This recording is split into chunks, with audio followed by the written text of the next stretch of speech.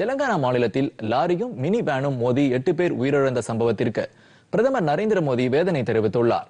தெலங்கானா மாநிலத்தின் காமரெட்டி மாவட்டத்தில் நேற்று லாரியும் மினி வேனும் நேருக்கு நேர் மோதிக்கொண்ட விபத்தில் ஆறு பெண்கள் உட்பட எட்டு பேர் உயிரிழந்தனர். பதினேழு பேர் காயமடைந்தனர். இந்த சம்பவத்திற்கு வேதனை தெரிவித்துள்ள பிரதமர் நரேந்திர மோடி உயிரிழந்தவர்களின் குடும்பத்தினருக்கு இரங்கல் தெரிவித்துள்ளார். மேலும் காயமடைந்தவர்கள் விரைவில் குணமடைய வேண்டிக் கொள்வதாக அவர் தெரிவித்துள்ளார்.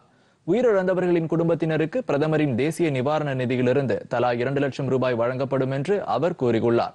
காயமடைந்தவர்களுக்கு தலா ஐம்பதாயிரம் ரூபாய் வழங்கப்படும் என்றும் பிரதமர் தெரிவித்துள்ளார்.